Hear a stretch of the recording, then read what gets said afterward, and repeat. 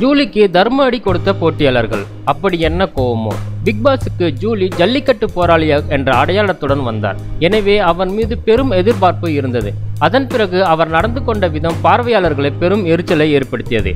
இதனால் அவரை பொதுமக்கள் ஓட்டு போடாமல் வெளியே அனுப்பி வைத்தனர். கமல் கேட்டுக்கொண்டதால் ஜூலி மீது மக்கள் கோபத்தை வெளிப்படுத்தாமல் இருந்தனர். யாரும் எதிர்பாராத விதமாக ஆர்த்தி மற்றும் ஜூலி மீண்டும் பிக்பாஸ் வீட்டிற்கு அழைத்து வந்தனர். இருவரும் வந்தவுடன் ஏனோ தானோ என்ற இருந்து பிக்பாஸ் நிகழ்ச்சி சுவாரஸ்யமாக இருந்து வருகிறது. இந்நிலையில் நேற்று பிக்பாஸ் வீட்டில் இந்த வாரம் எல்லோருக்கும் ஃப்ரெஷ் டாஸ்க் கொடுக்கப்பட்டது. அவ்வாறு நேற்று ஜூலியை தவிர மற்றவர்கள் உறைந்த நிலையில் இருந்தனர். அப்போது ஜூலி மற்றவர்களை சீண்டிக் கொண்டிருந்தார் இதனால் ஆத்திரமடைந்த அனைவரும் டாஸ்க் முடிந்தவுடன் ஜூலியை விரட்டினர்.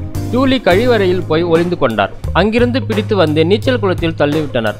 அது மட்டும் இல்லாமல் பிக்பாஸ் கூறியதன் பேரில் ஜூலியை மீண்டும் நீச்சல் குளத்தில் தள்ளிவிட்டு வெறுப்பேற்றினர். இதே மாதிரி உங்களுக்கு பிடிச்சமான ஸ்டார்ஸை பத்தி அப்டேட்ஸ் தெரிஞ்சுக்கணும் அப்படின்னா மறக்காம சப்ஸ்கிரைப் பண்ணிடுங்க. நன்றி.